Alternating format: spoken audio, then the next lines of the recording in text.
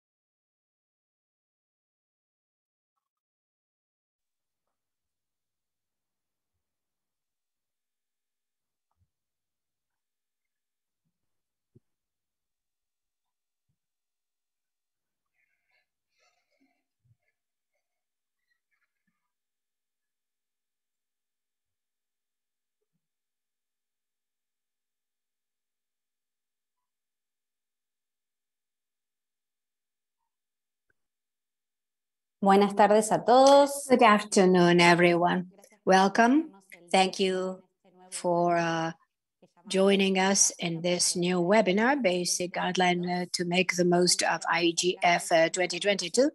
The idea is to provide you useful information on this global uh, internet governance uh, uh, forum that will um, uh, take place in Addis Ababa from uh, uh, starting in November 28th. This webinar has uh, interpretation and it's being also and also transcription into three languages, English, Spanish, and Portuguese. We will record it.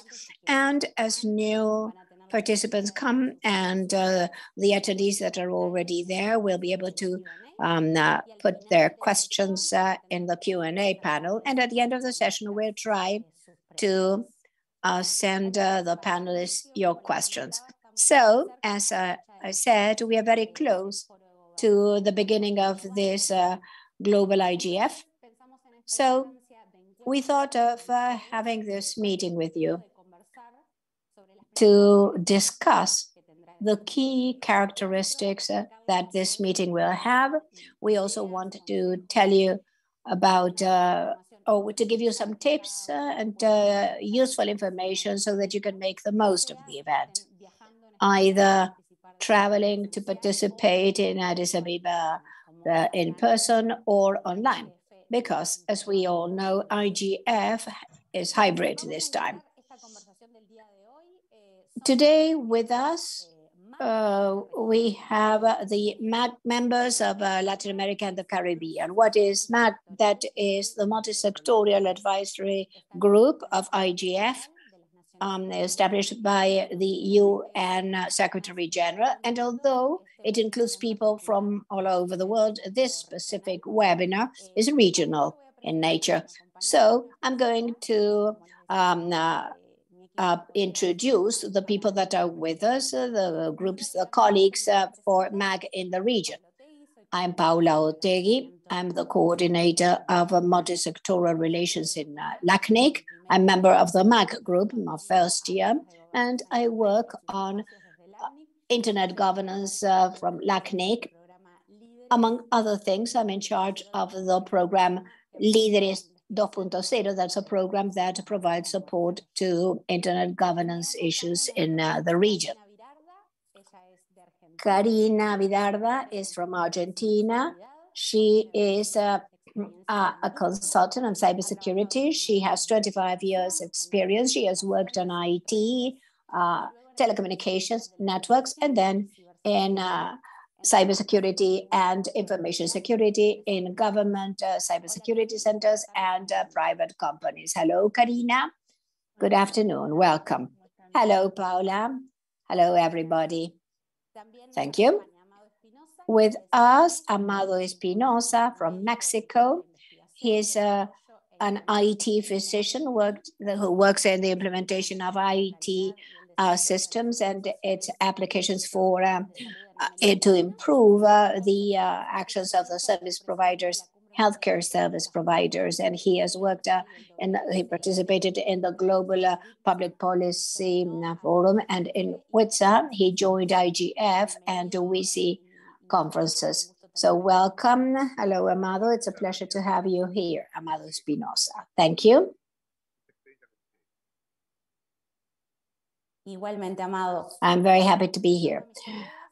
I could, Bruna Martins dos Santos is Brazilian. She's a digital rights activist. She's a member of uh, the NGO in Brazil called uh, Coalition for Rights in uh, the Network. And she's an independent consultant on uh, internet uh, global uh, governance, the responsibility of the intermediate digital rights. She's very active on internet governance topics, and she has been actively involved and participated in the relevant uh, uh, legislation of Brazil, eh, of uh, the internet in Brazil. Hello, Bruna. Hello, Paula. Thank you for the invitation. Thank you, Bruna. Roberto Zambrana is an old friend uh, whom you all know. He's from Bolivia. He uh, has a master's degree in telecommunications. He's an engineer and he's on, doing his PhD. He has worked on telecom and uh, ICTs for 20 years. And the last 10 years, he has worked with ICTs in La Paz, the local government. He teaches at several universities on undergraduate and postgraduate studies on ICTs, uh, information networks, uh, wireless and uh, network security. He connects the IGF in Bolivia and to the regional, national and regional initiative of Bolivia. Welcome, dear Roberto. Thank you, dear Paula. It's always a pleasure to be with all of you, very dear friends. So I'm ready for today's session. Excellent. Thank you, Roberto. And we also have Alan Ramirez from Peru, who's a telecom engineer. He's a consultant on a telecom policy and professor of ethics and uh, communications engineering at the Pontificia Catholic University in Peru, and he works for the Ministry of uh, Transportation and Communications in Peru. His professional career in the public academic and consultant as consultant has to do with the development of policy strategies and uh, telecom broadband plans, ethics, social responsibility, policy and public management, perspective, sustainable development, and rural connectivity, among others. Thank you, Alan, for being with us. Welcome. Thank you, Paula, for the invitation. Well, as you may see, we have a, a wonderful group of colleagues and friends, and the idea is to hold an informal conversation in these 60 to 80 minutes. We'll see how things uh, um, roll on out. So let's um, start with a very basic question. Since those of us here, uh, many of us uh, know what IGF means, but maybe others don't. And the idea at this meeting is to bring you the information starting from uh, bottom up, increasingly complex. So, what is IGF? Something very basic but necessary is the Global Internet Governance Forum. The, man, uh, the mandate was created in Tunisia um, uh, in uh, 2005 for the Information Society, and the UN Secretary General um, entrusted uh, the organization of the new IGF, and that was the origin. I think that in order to understand the wealth of uh, this, uh, uh, the contribution globally, it's important to highlight that there are discussions on these issues both locally, that is, in every country, and also regionally. In our region, we know it as LAC IGF.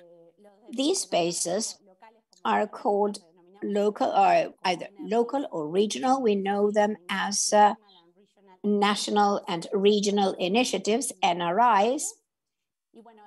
And in our region, we have several uh, levels of maturity for these meetings, but increasingly we have more countries that um, uh, work with them. In the last uh, quarter this uh, year, many countries have been active in the in the IGFs, and the idea is uh, to discuss governance with a local uh, perspective, discussing things with the different stakeholders, and in a way those conversations that uh, take place locally and regionally are based on the global agenda. That is, these are sort of, uh, this is preparedness for the discussion that we're going to have next week in Ethiopia. What I mean is that all the communities share the same uh, concerns. We have very similar discussions, and we are going to see those reflected in this um, global um, encounter next week. So I don't want to bother you. I want to give the floor to our colleagues.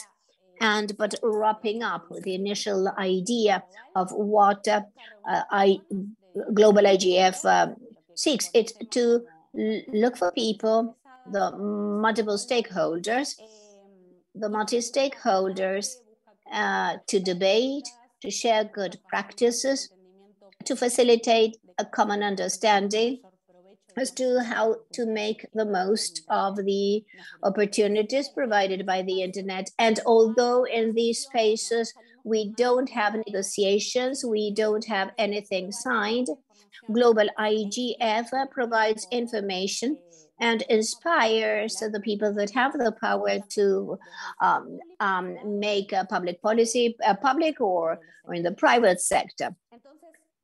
So, hand in hand with this uh, very basic introduction, I'm going to invite Roberto to tell us about uh, uh, a core thing uh, that uh, of IGF uh, 22 that goes hand in hand with uh, this year's slogan. The slogan is a resilient internet for a sustainable, shared, and common uh, future. And it will focus on the issues that uh, stem from the global digital compact.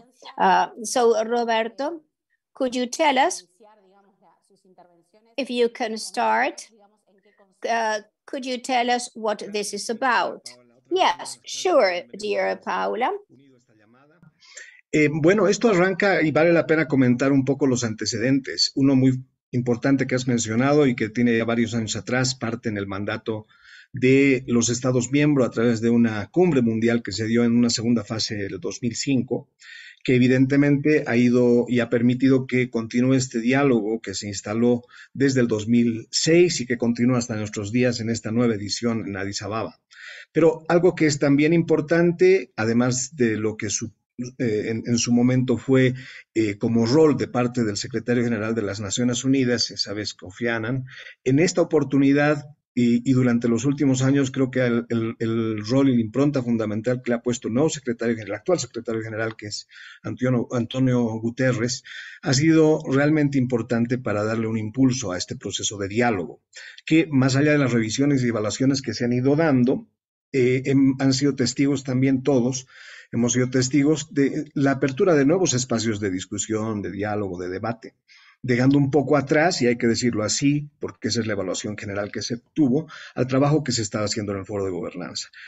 Por lo tanto, esta, esta iniciativa que arranca, yo diría, con esta convocatoria que se hace a este panel de alto nivel el año 2018, que finalmente permite llegar a un informe el año 2019 de este panel de alto nivel, que plantea eh, justamente varios aspectos importantes, entre otros, uno muy destacable, que es que no se tiene que dejar a nadie atrás, em, finalmente arranca una agenda de la Secretaría General para cada año eh, avanzar eh, un pasito más en este, en este espacio, no solamente ya de diálogo, sino ojalá generar insumos y además tomar acciones que verdaderamente aterricen estas necesidades que se identificaron en ese informe.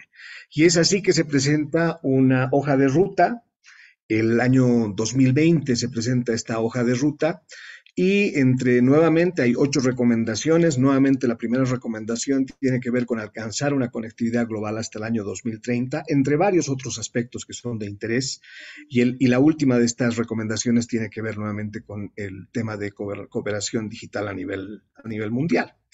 Y bueno, un poco después es que se presenta, un año después, se presenta la agenda común otro nuevo paso eh, promovido desde la Secretaría General, donde se plantea esto que mencionaba hace un principio, que es este pacto eh, global digital o pacto digital global, como queramos mencionarlo, y que se tenía planificado para eh, discutir y finalmente arribar a, un acuerdo que sea este pacto el año 2023, eh, en septiembre, pero que se ha extendido un año más justamente creemos, para darle mayor, eh, mayores insumos a este diálogo que ciertamente es fundamental para no solamente nuestra región, sino para el mundo. Se espera que varios de estos aspectos que se han eh, planteado todavía no son eh, definitivamente estos temas los que van a quedar instalados en este, en este documento, sino justamente se reciben y se van a ir recibiendo todos estos insumos para eh, que se incluyan en esta, en esta cumbre mundial del futuro, así se ha llamado este espacio que se va a organizar para el 2024, donde el tema principal o el objetivo principal va a involucrar eh, este acuerdo global, ¿no? este pacto global mundial. Y sin duda se han planteado ya algunos aspectos sugeridos por parte de la Secretaría, como nuevamente el tema de conectividad, de alcanzar la conectividad eh, universal y significativa, el hecho de evitar la fragmentación, que es algo que ha comenzado a em, emerger en la realidad política vinculada al tema de Internet en varios países, no es reciente, tenemos ejemplos interesantes que se han producido en el mundo, pero hay otros recientes también que sin duda pueden afectar la manera y la naturaleza que Internet ha tenido durante, durante todo su tiempo de desarrollo, de consolidación en lo que conocemos es ahora y que viéndose afectada pudiera cambiar la realidad en el futuro. Entonces, es un aspecto que también se ha priorizado junto con otros que son de importancia latente durante los últimos años y han tenido presencia en los diferentes foros. Por ejemplo, la gobernanza de datos, que tiene que ver también con una aspiración que todos tenemos, no solamente en el contexto de privacidad de la información, sino de la protección y la responsabilidad and respecting the rights of all citizens. Yet there's one other one that my comments will be referring to is also present a recommendation, namely working with disinformation and hate speeches, etc. Therefore, the governance forum and those of us who are part of this multi-stakeholder group have been discussing first the input for 2020 of the results of the year 2021. This was the first hybrid format that took place. And based on all these inputs, discussions were made to see which are the priority topics. We also saw the possibility of leveling these with those prioritized by the General Secretariat. And it is quite good because in most cases, we have reached consensus in order to establish this thematic framework. And as we know, comunidades que quieren plantear alguna sesión. Those communities that wish to have a session in the framework, in the governance frameworks in line with these can join. So this is an initial overview of what this role of the General Secretariat implies and the progress that is taking place. Ojalá eh, so the idea is to consolidate this dialogue in the future, including more people in the debate, and particularly to have a positive influence in the political decision making.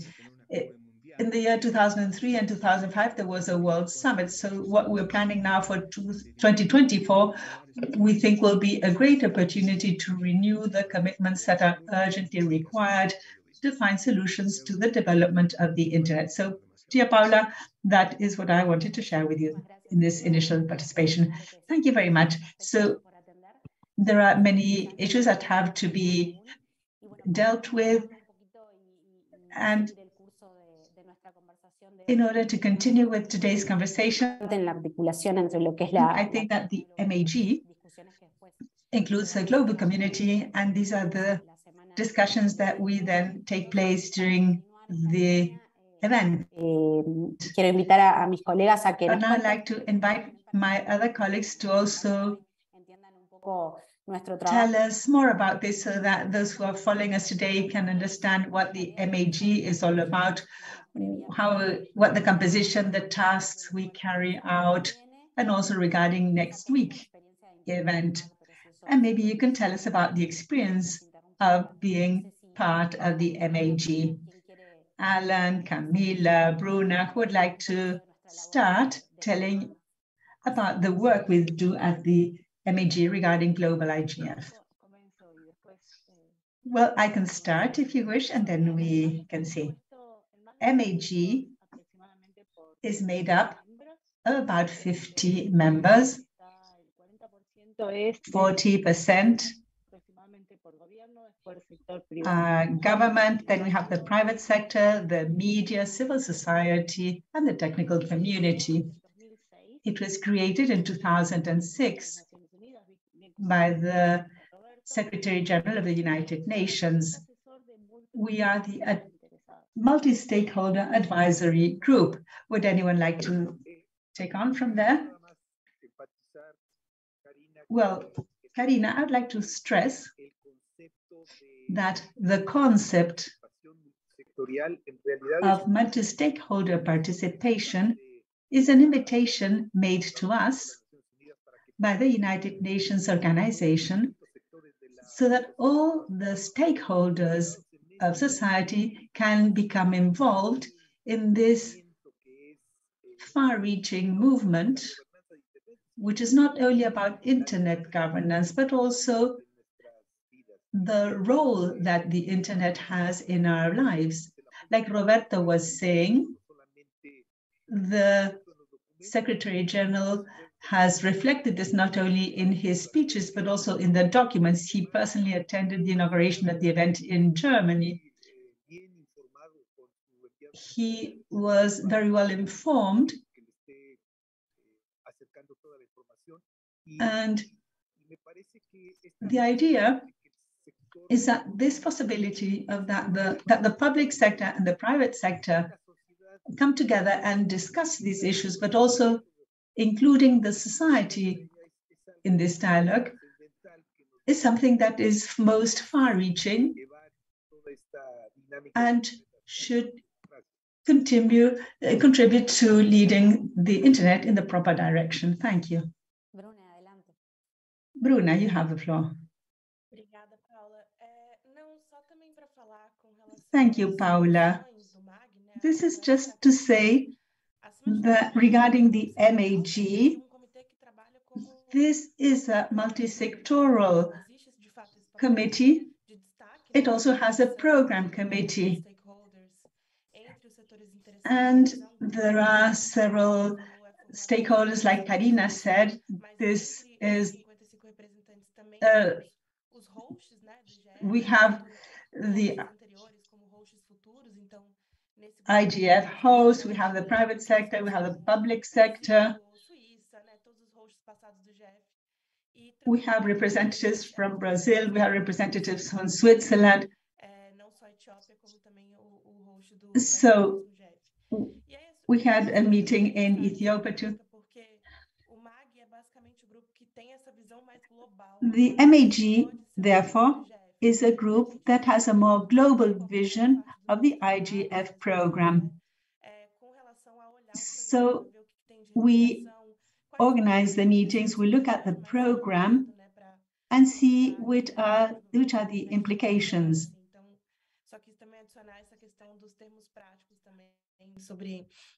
So I wanted to mention that these are some practical aspects regarding the work the group carries out. Thank you very much, Bruna. I see that Alan sort of left somehow. I think he wanted to add something. So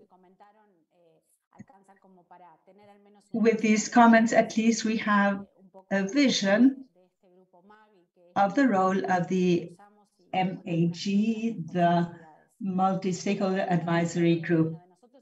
Now, each one of us is in charge of one of these sectors, but we also represent the MAG individually and we relate with other sectors. So I'd like to ask you from your standpoint, how, what is the relevant of, relevance of the IGF for the different sectors? Maybe you want to refer to your place of work and what each sector can do to contribute and make the most of the Internet Governance Forum. So the floor is open, and I see Alan is back. Yes, maybe I can start, Paula. I had an issue with connection, as might sometimes occur. Now, regarding your question, I think this discussion that takes place globally, but also has a vertical nature in terms of the topic of interest on behalf of the different stakeholders with, from the standpoint of development, from the standpoint of gender, for example. So so this is quite important for the policymakers, for example, if certain topics of interest are included in the top public agenda. So the evidence that can be developed based on these discussions can be used to sustain certain policies with the support of the private sector, for example. And one of the good things about the MAG is that opinions can be stated while recognizing the efforts of the different stakeholders can participate in complex issues such as micro-governance of the internet, as well as everything that can stem from access to the internet. Thank you very much.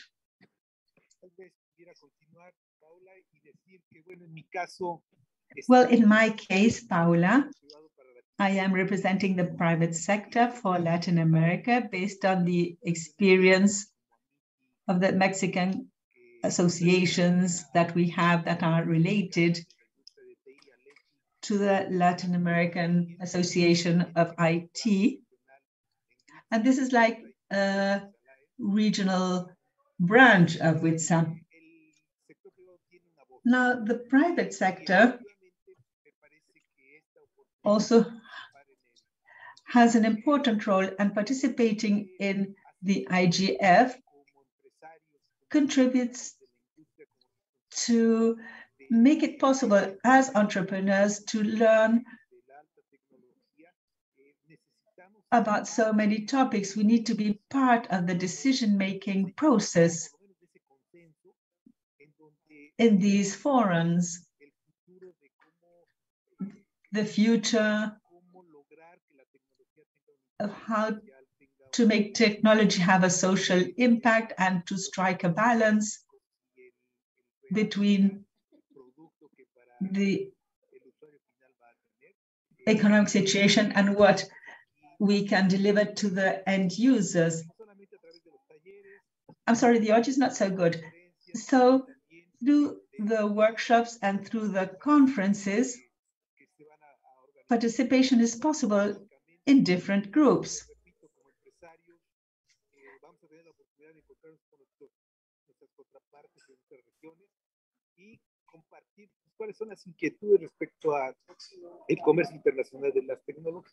And to share our concerns in the international business of technologies so we can discuss uh, how legal issues uh, um, will impact so this is an invitation to all the members of the private sector to be part of this event and to get engaged uh, in these processes. Thank you. Thank you, Amado and Alan. There we saw, we heard the government, the private sector. Bruna, Karina, Roberto, would you like to make uh, comments about your sectors? How do you think the IGF uh, could be taken advantage of.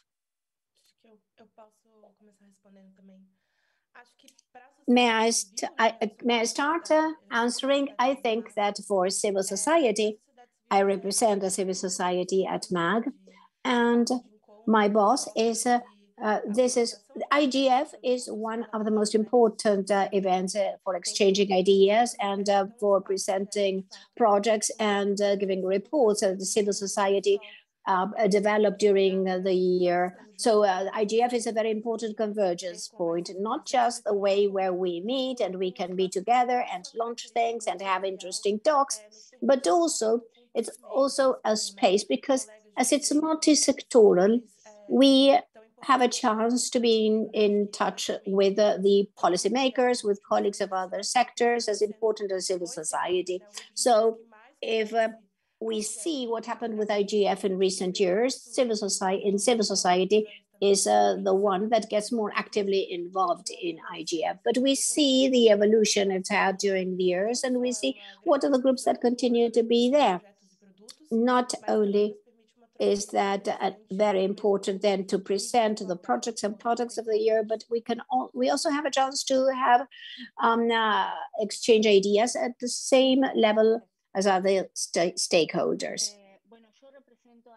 Well, I represent the civil society of Latin America, and to tell you the truth, this is a call for all those in the civil society. Although I'm from the technical part, I, I represent the civil society because I think that in the internet we have the new social dynamics because everything is done through the internet. So it's good to include the government, the academia, all of the stakeholders. It's good for the for the regular citizens, um, all society to participate in these debates and these discussions so that we can give our feedback and our beliefs from our point of view, because the different wishes uh, uh, end up giving you a rainbow of uh, perspectives.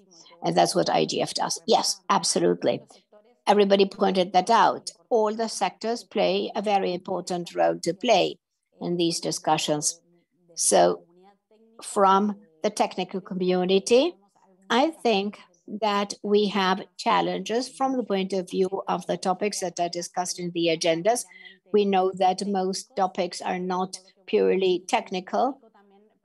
So I also identify uh, uh, the challenge for the technical community to bring those uh, topics or proposing sessions to help us in topics that don't end up being so technical as the understanding of the internet, how it works, and the factors that have uh, uh, made the internet so successful, enabling development and innovation. So from the technical community, we have to give our view, but it is precisely what the speakers have said. We all have a lot to contribute with. So um, let's now discuss the structure of this global IGF next week. It, it's going to be the 17th edition in Ethiopia next week, and the slogan, the motto that was chosen by the community and defined in our previous work by the MAG is resilient internet for a shared, sustainable, and common future. And this IGF will discuss five topics, um, five themes that are aligned with the Global Digital Compact um, uh, provided by UN. And I'm going to tell you those uh, five uh, axes that are connecting all people and safeguarding human rights, Another topic is avoiding internet fragmentation, governing data and protecting privacy. The fourth is enabling, um, uh, in, in Spanish it's habilitar, but uh, in enabling safety, security, and accountability, and addressing advanced technologies, including artificial intelligence as a fifth theme. So, um, now, I would like to ask Bruna, what was the process like to reach these axes that will guide IGF? What kind of a public consultation process did you have to the global community and how the MAG worked to reach the, the end product, the, uh, to conclude to these five topics that I just mentioned. Bruna? Thank you, Paula. I find that um, we should uh, highlight this public consultation because today we tend to work with input coming from the global community. So nothing of what we uh, work with here uh, has been uh, asked for.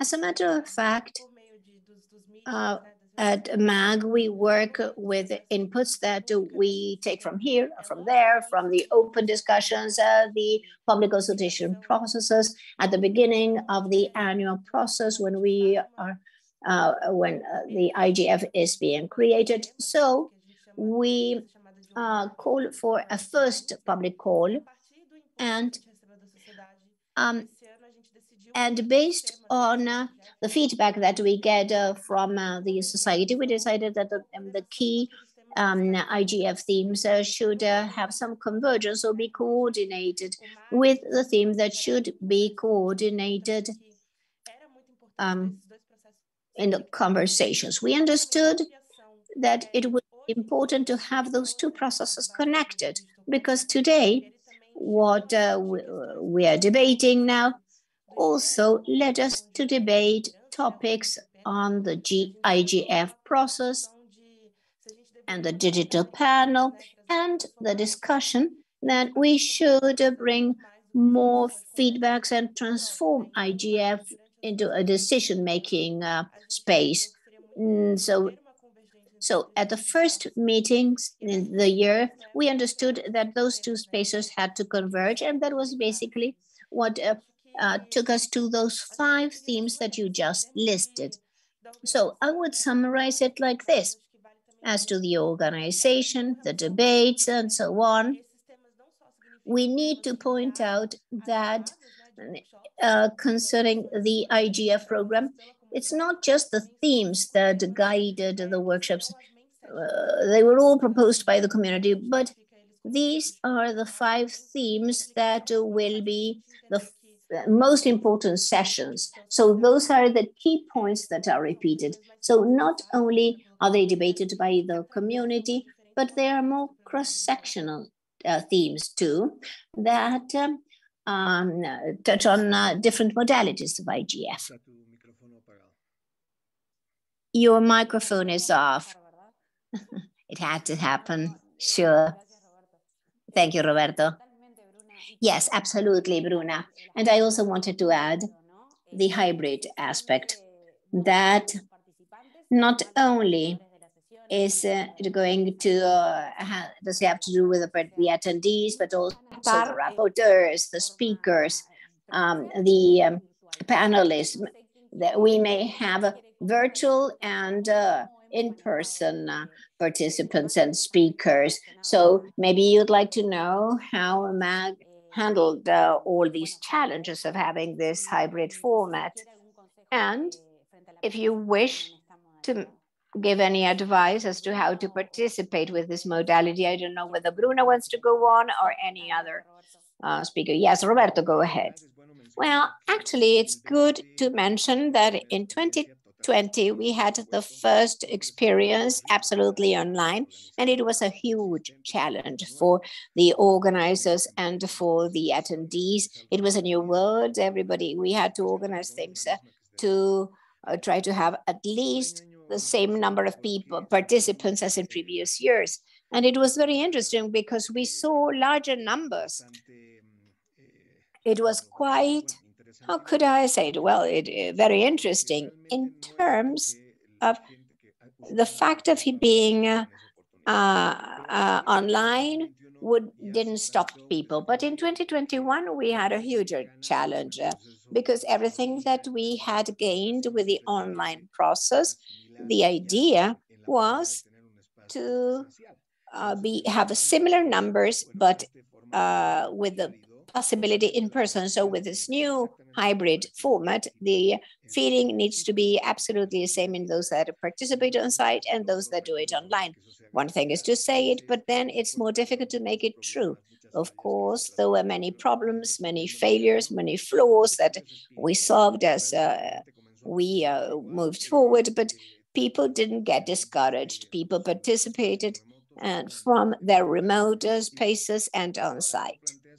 And now that you say it, uh, now that you ask uh, what will happen, as you know, and the other colleagues know at the meetings, we really emphasized this uh, issue and uh, the dialogue with the, organize, the organizers of the sessions. We uh, are trying hard to um, uh, um, follow the steps we need to have so that everybody, either the people who are there in person or online, may not lose the quality of the dialogue. So that's what I wanted to say about your question. I would add, Roberto, thank you for, for being with us, by the way. I would add that in the end, the United Nations is a political body. It arises as the body responsible for protecting uh, human rights, among other things. And of course, the, the governments play a very key role in the Security Council, that is the top agency or body of the Secretariat in decision making. Now, the fact that at present it's being opened not just for the in-person participation, but also online. That's a very important milestone that we have to make the most of, because in the end of the day, as I said, as it's a political body, the regional groups uh, can work uh, in East Asia or in Africa or in Europe or in North America, they have their own guidelines as to how they interpret the uh, the way the internet should be handled. So this opportunity, as was described by Cecilia and Roberto, really it's incredibly complex because ultimately, I insist, the it's the UN that sets the security guidelines uh, uh, for uh, the verification, the monitoring guidelines, and any of the events that uh, uh, are held by any of their organizations. So the fact that we have a chance to be able to participate in an event like this remotely is uh, hugely important, even if it is just to understand who is saying what, what are the trends, what are the measures that we have to adopt for decision makers locally, etc., etc. So I think the opportunity is a very valuable opportunity. Thank you. Yes, without doubt, Amado. I would like to know if the participants have any comments or questions. I want this to be interactive. So if there are any questions or comments, please, uh, you're welcome. I see that in the chat, nobody has included any comments. Sandra, maybe can you support, please? In the chat, Paula, we have no questions in the Q&A box nor in the chat. So I encourage you to please feel free to interact if you have any questions or any comments. So everything is welcome. Thank you. Comments are welcome. So in the meantime, please include your questions in the box or in the comments. So from what we have been saying, because this has a local vision, let us see how we can manage to have a good participation of our region in this global IGF edition. We are aware that this takes place in Ethiopia, which is far away. This poses challenges in terms of participating in person because of the distance, because of the cost, because of the recovery in the post-pandemic world. But the hybrid option, this format that we have been referring to, allows participating and making contributions and having great interactions. So my question is to Roberto, to Alan, what do you think are the mechanisms or the opportunities that we have as a region to be active and to participate actively in the global IGF, despite the difficulties posed by the distance, for example? How do you view this?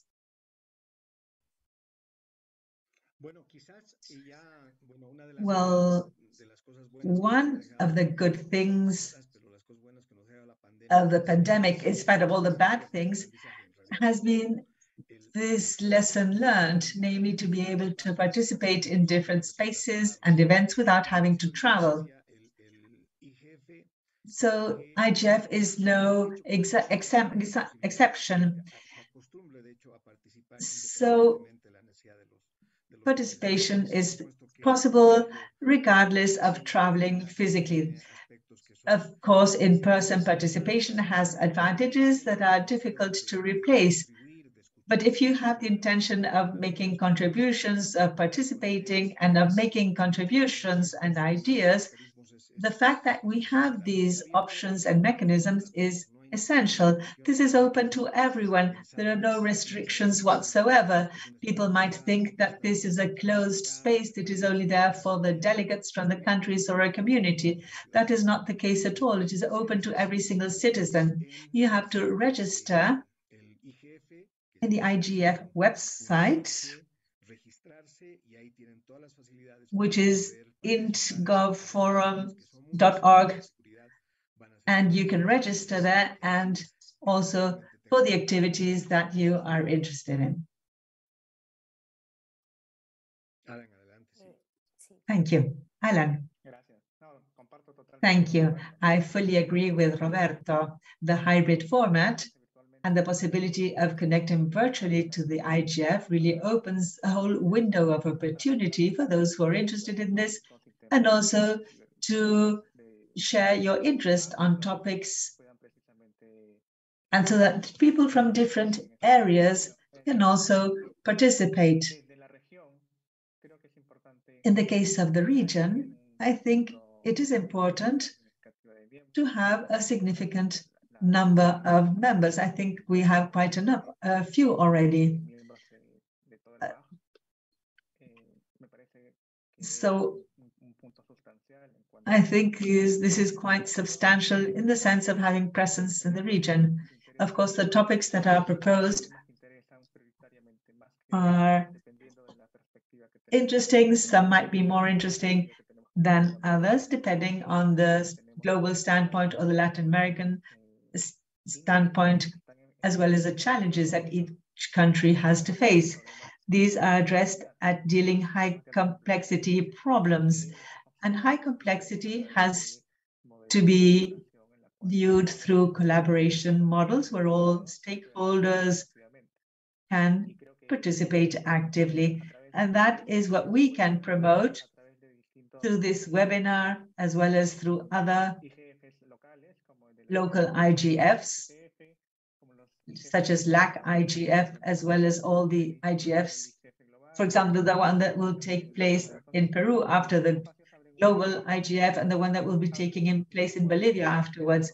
All this opens up the doors to generate debate on such relevant topics. Thank you.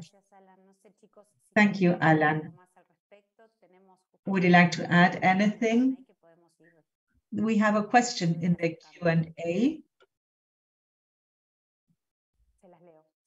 I'll read this out for you.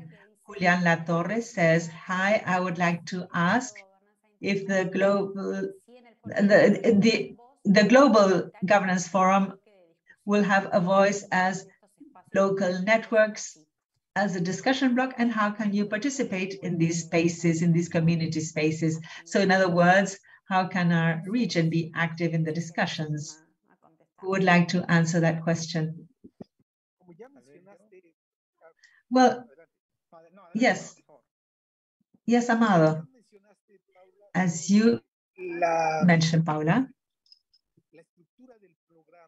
the structure of the program, and like Bruna was saying, this is addressed at those aspects that are of greater concern today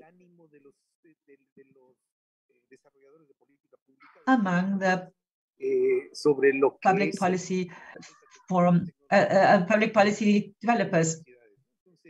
Estos, estos And this regarding the development of the internet. So these are those topics that can serve as uh, guidance in the sense of how can we participate and make contributions in the region. The conclusions drawn from that can be used as the Uh, to be included in the final report of the meeting so that they can be scaled up and conveyed to the special envoy on technology. So insofar as we can have specific positions from the technical standpoint, political standpoint, social, academic, if this can be conveyed so that they are taken into account to be included in the decision-making process in the direction that we wish, will then lead to success. And as a region, it is very important to focus on topic number five, which is high technology. It is quite different if you compare continental Asia or China or all the Asian countries.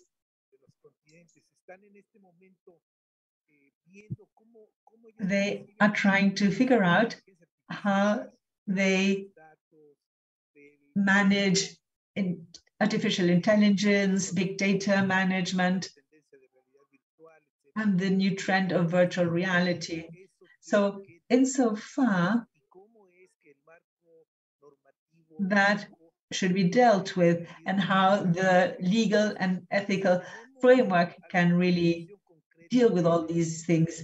So if we have a specific position as regards how these big algorithms of the major corporations and how these should be taken into account,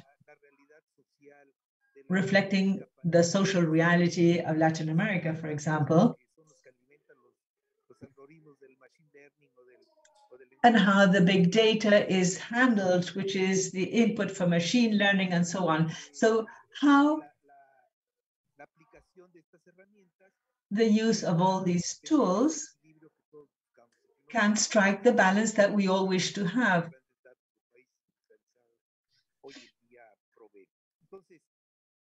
In other words, let us expand on some of these topics. Let us see in which of the workshops we can participate as a region and see what is the position that we wish to convey to the forum. If surveillance, if cyber crime, and then if we can scale up that position later on. Thank you, Amada. Great. Would anyone else like to add anything? I would like to add something. Yes, Alan, go ahead. Yes, these are emerging topics. This is not only of importance for emerging countries. Many countries have a, a divide. So this is part of the discussions that are taking place.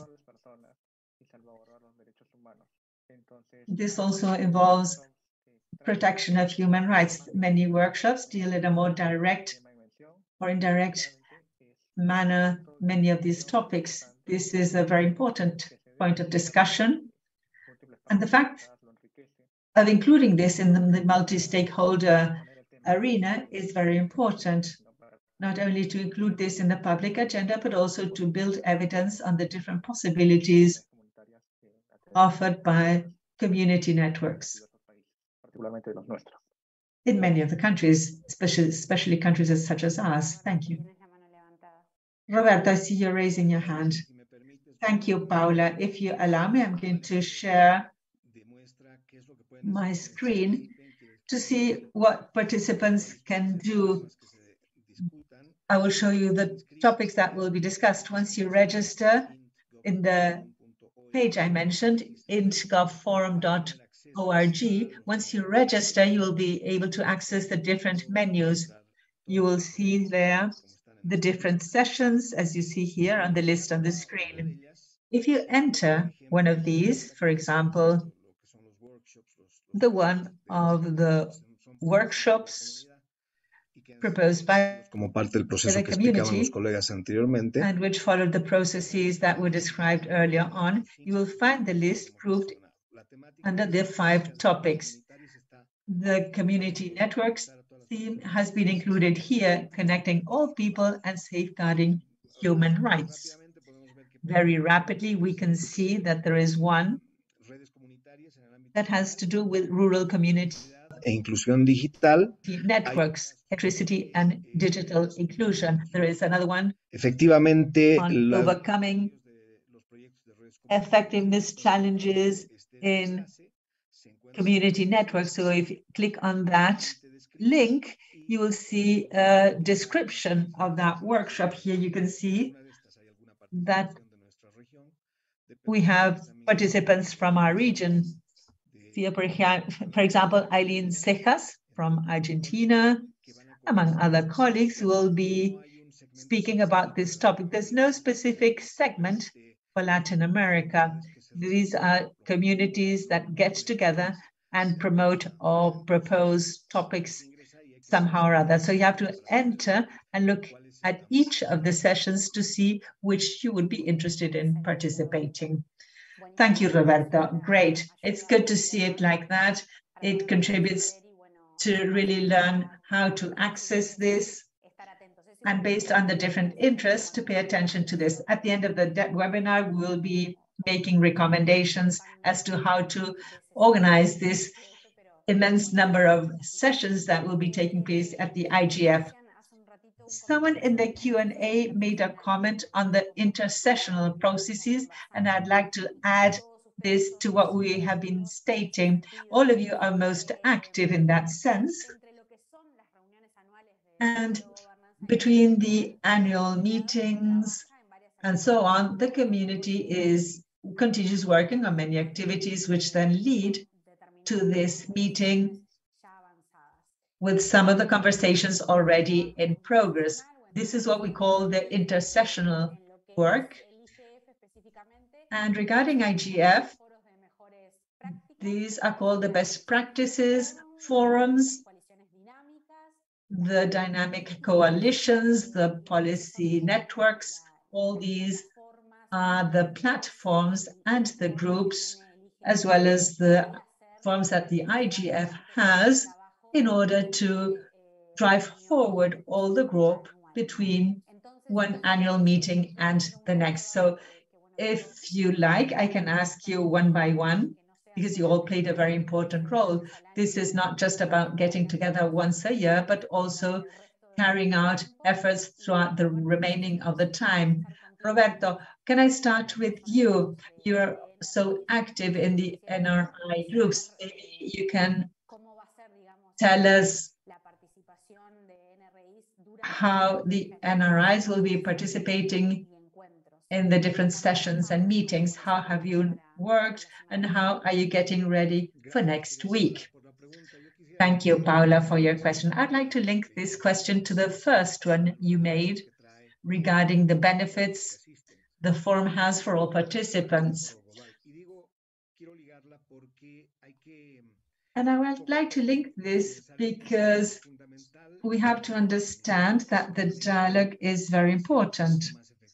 y más sencilla, además, y más natural la participación a nivel global, en este caso en este IGF.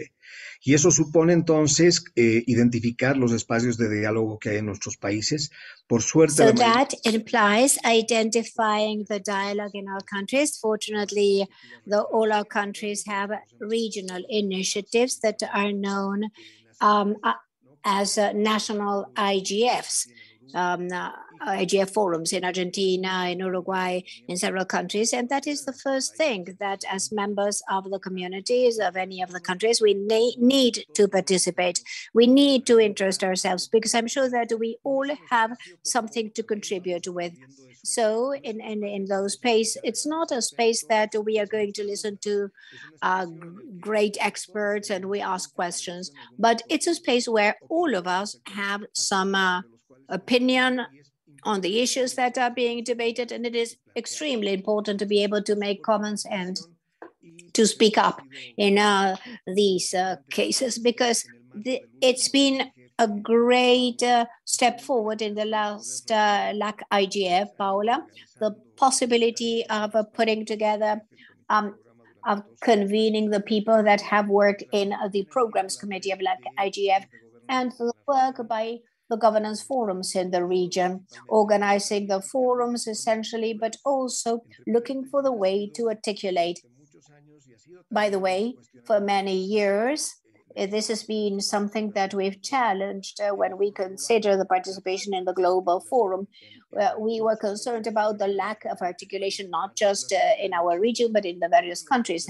The articulation that we should have between the local um, uh, governance forums and the regional governance forums, and from those to the global forum. And I think that many of the stakeholders that many of us who participated have tried to contribute in that regard. So the result of the last regional forum, LAC IGF, had this uh, contribution. I think it's an interesting thing so that we can consolidate this articulation because only that way can we identify the common topics that we are interested in as a region and what are the different ones that show the uh, degree of development that we have because not all the countries are the same but it's also important to see them so that we can articulate and discuss these topics in a global context all this starts very early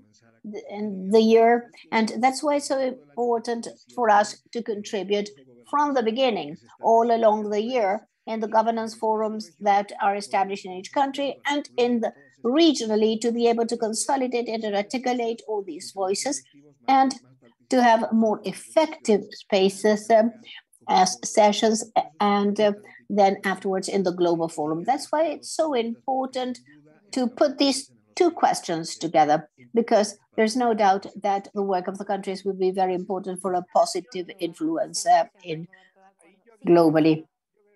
I would add, Paula, that with regard to the best practices and uh, the BPs um, and the coalitions, the dynamic coalitions, I think that the work there that is being done there is very interesting. And I hope that the people that participate in the event will be able to see the conclusions that the different groups in the in these areas are approaching. Personally, I am in the coalition that works with digital health.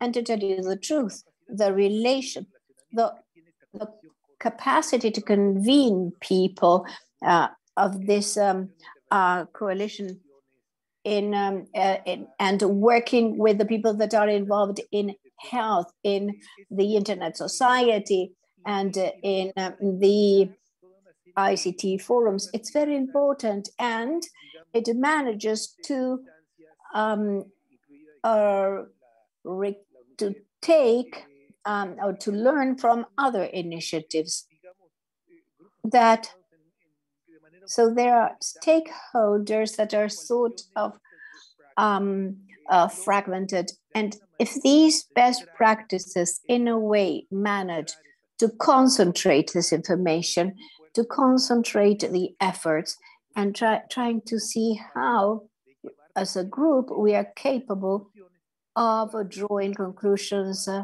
uh, that can be considered and brought to the table the definition of public policy that in the end needs to be heard at each of uh, the in each of the agencies of the United Nations and uh, the Secretariat, and so that the Secretariat may hear what uh, is discussed in these forums, as Roberto pointed out.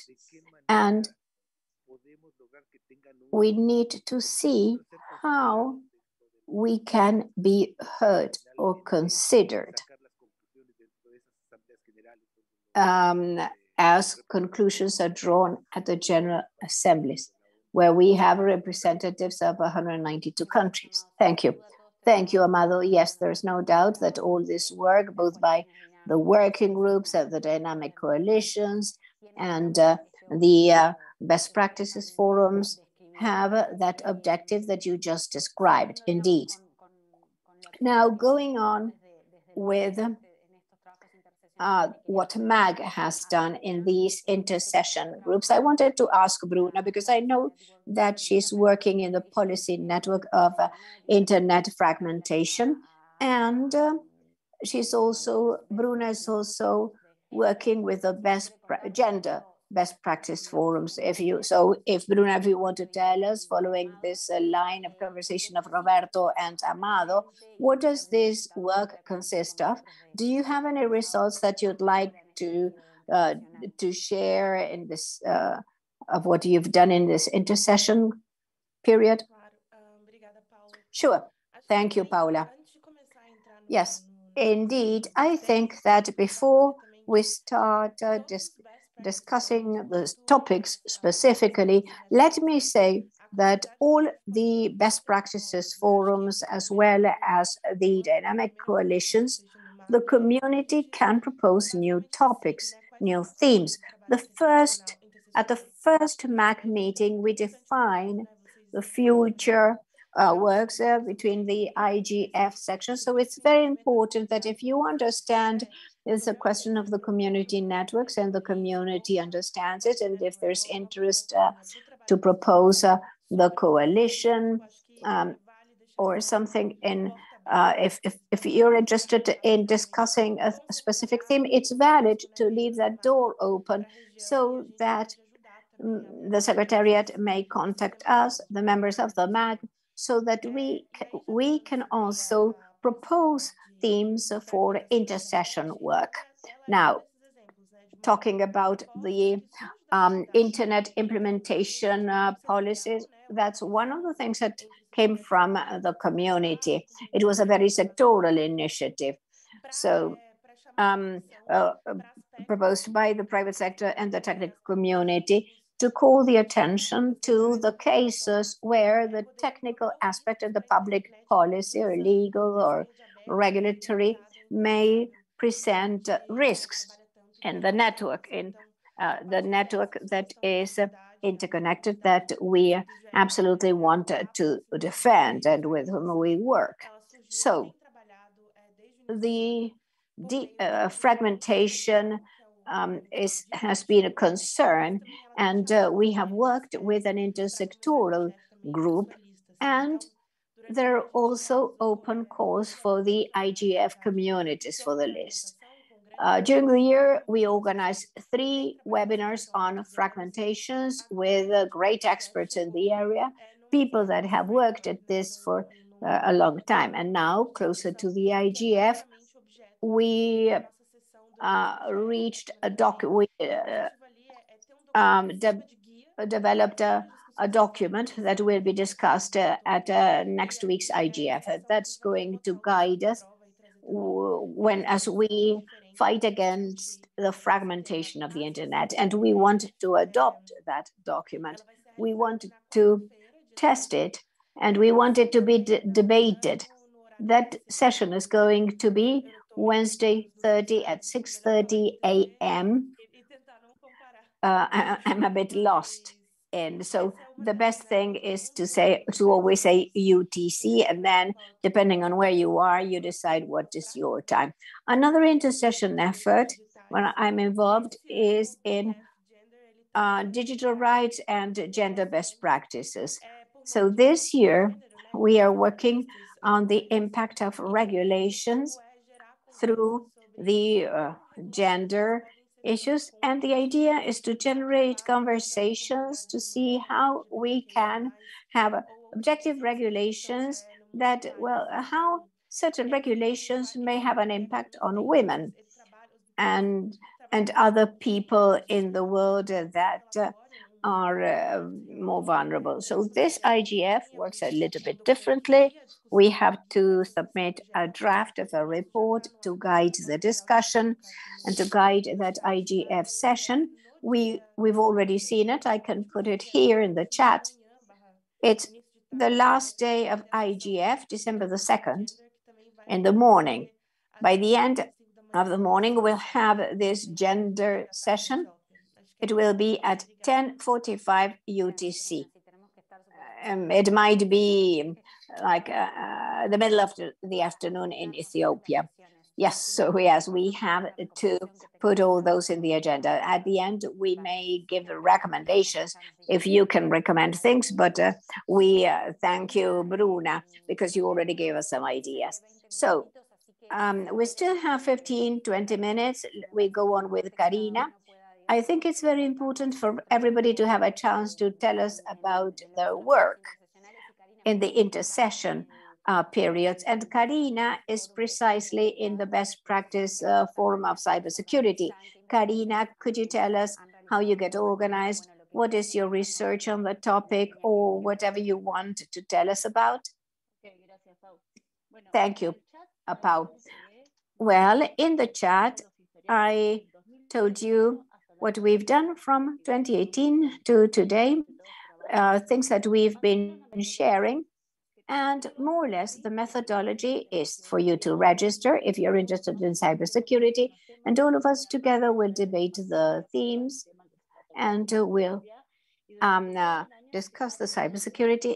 And during along the year, we discuss it in different uh, meetings.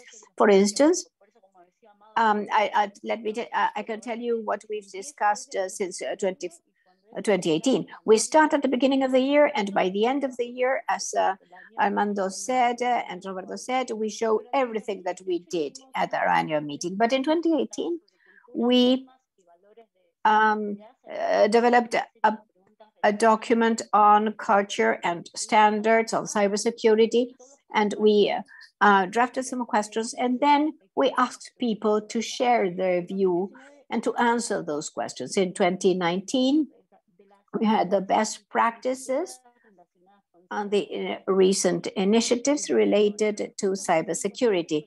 But the most important issues, the six uh, critical standards, um, and uh, the um, open-end uh, group of UNN, among other uh, 25 agreements that you have there in the link.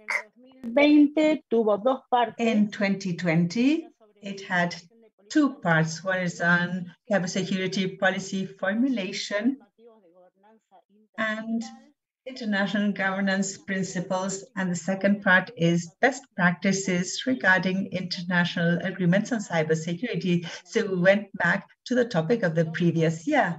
So everything is related and linked and improving in terms of maturity. In 2021, we did analysis on the use of standards to promote trust, applied to cybersecurity. In 2022, this has been divided into two parts. One is to mapping international cybersecurity rules and cybersecurity events. And the 2022 document, you can download the draft Um, PDF and make your contributions. This is an invitation to all of you to make your contributions. And this has to do description of myth cyber crime versus cyber security. So how can you participate, register, participate in the meetings, make your contributions, collaborate, do research on the different standards, and then you see which is the one you wanted to study then you can analyze what that standard is all about. For example, the Paris Accord.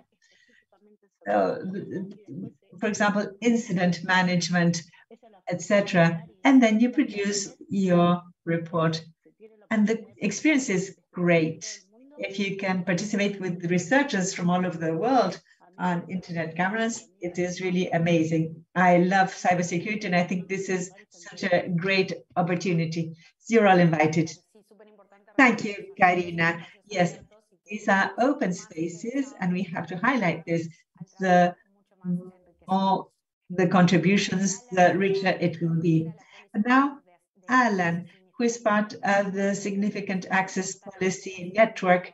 Alan, can you tell us about the work over these past times and the preparation for next week? Yes, of course, Paula. I'd like to start saying that MAG has different functions, also locally. And one of these is to promote links to decision makers with the authorities and with organizations that can be, be interested in different topics so that they can become involved in the processes. In the specific case of the policy network and significant access, this is an expert group which is very prestigious. Roberto is also included in this group. We are well, very well represented. And we have a discussion on different topics, mainly three areas, connectivity that has to do with infrastructure, business models, and other aspects. But this is not only about connectivity. We also have a holistic view in the sense of digital inclusion. These are two topics, accessibility on one hand, and also multilingualism. These are very important topics, particularly in those countries where there are different languages, where different languages are spoken. And the third one is capacity building that has to do with training in technical skills. So as you can see, there is a holistic approach to complex issues. Work has been done this year on systematization of practices regarding connectivity models in different zones and countries so that people who were not connected can now be connected. This is very important. Like I said initially, this is useful to build evidence for decision-making processes and purposes. My role is to be available so that then decisions can be made in our countries and region. So as a member, what I have done is to submit these calls for inputs in order to have local participation. In the case of Peru, this is the case, and I understand this documentation is available globally. This will be most useful in order to understand how models that are alternate models to what we have at present can be applied and can also provide the opportunity to help people become connected. Thank you. Thank you, Alan. Great. So I think this reflects the importance of this work. Because we only have 10 minutes left, in the meantime, I'd like to ask those of you who have been following us in this webinar to take this opportunity to ask the panels any questions you might have. I encourage you to ask questions or to make comments. Otherwise, let me close with something, something simple. For example, basic recommendations, easy recommendations for the purpose of this seminar, of this webinar, to make the most of this meeting. For example, simple things such as registering, or if you'd like to highlight any special session. So I'd like to give you the opportunity to make any comments in that regard. Yes, ex excuse me. Yes. I'd like to start then. I think that one of the most important things is that for the, in, addition to the panels and para criar uma rede de contatos, So né? on. Então, a, parte do networking de the IGF is useful to set up a network of especialistas e contacts. So seek specialists to get in touch with people who participate in these debates. There, this is a great opportunity to get to know experts from all over the world who read, who work on topics regarding this. So, for example, uh, if you are in Ethiopia or, or if you are part of this community, this is an excellent opportunity. If you're interested in a given topic or a specific expert that gives a different view on a given topic or how they work on different issues, you can contact these people. People normally answer back. And so this is a, a great opportunity. There will be a session on fragmentation that I'd like to mention. You have representatives from all over the world, and the UN Technology Group would like to focus on how to avoid having fragmentation of the internet. So this is one of the sessions I recommend. Thank you. We'll all be paying attention to that. Some further basic recommendations? Well, Paula, I would say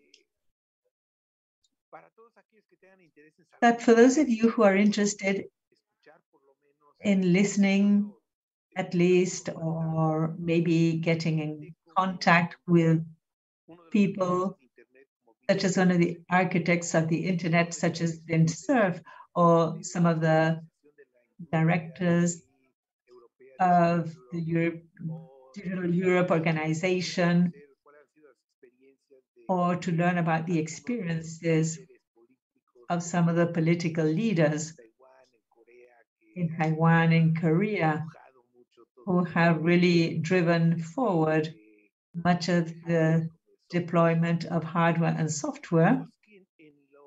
I would like to encourage you to look up in the headings of those who will be participating in the workshops to see who will be in that workshop so you can see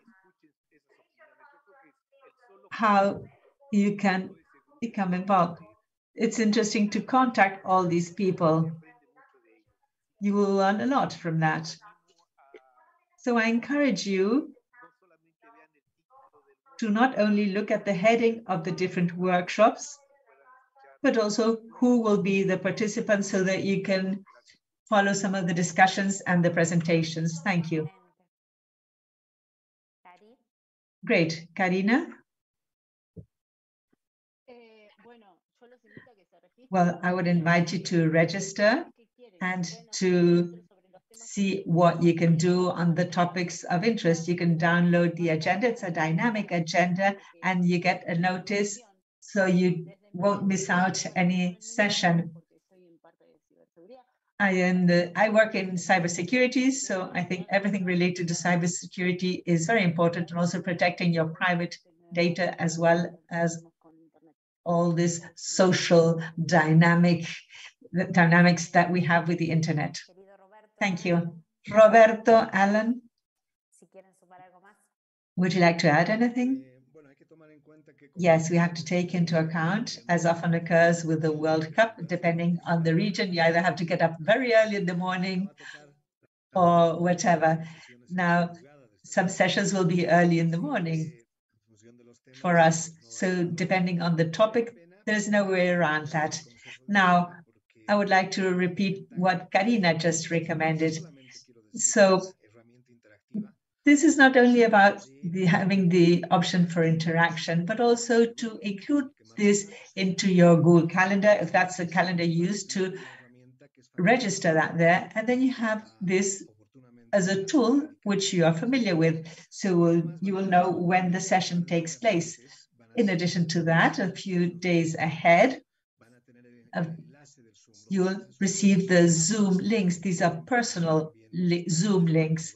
That is why it's important to pay attention to that registration. Finally, we encourage you to participate. People today not only wish to ask questions, people also wish to participate, and you're all entitled to do so, of course, respecting the times, making comments, and this in any of the sessions you wish to participate in. Thank you. Yes, please do participate. We encourage you to do so. Paula, on my behalf, I think my colleagues have already said everything. I took note of some of the recommendations too. And what I would like to highlight is that because this is such a faraway country, I think it is important to have WhatsApp groups where you can share information. These initiatives are all very important so that we can really work with trust towards the objectives we wish to achieve through the IGF. Thank you very much. I don't have much more to add. Everything has been said, but please check the IGF website so that you can identify those sessions and topics of interest so that you can really participate in this very interesting week, so full of many different topics. Those of us who will be participating remotely will also be paying attention to the different times of the sessions. I hope all these sessions have been useful for all of you. Let me check the Q&A box and the chat. I think people were very timid with questions and comments, but nevertheless, thank you very much to all of you for joining us today. I'd also like to say that this webinar has been recorded, so those of you who could not join us will then have this information available in a couple of days. This will be informed through the media. Thank you very much to my colleagues from the MAG, Karina, Roberto, Bruna, Alan, and Amado. Thank you very much for joining us today, for taking the time. Have a safe trip for those who will be participating in person, and enjoy the meeting the IGF Global Meeting. Thank you very much to all of you. Thank you, Paula.